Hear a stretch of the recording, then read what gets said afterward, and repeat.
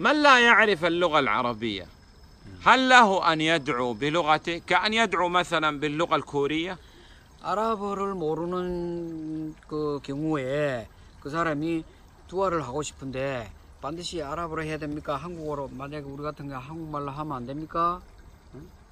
نعم له أن يدعو باللغة الكورية لا إشكال في هذا 반드시 아랍어로만 해야 됩니까? 아 아니다.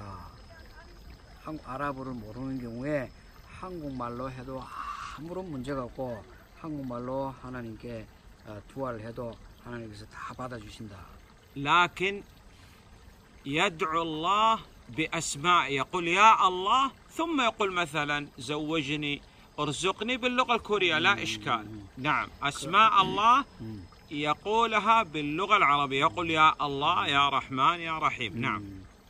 하지만 이거 한 가지만큼은 우리가 분명히 알아둬야 할 것은 야 알라 야 알라 알라를 원어 그대로 야 알라 오 하나님보다는 야 알라라고 하는 게 더 좋고 그 부분만큼은 반드시 야 알라라고 이야기하고 그 다음에 본 기도문은 어, 한국말로 이렇게 해도 아무런 문제가 없다.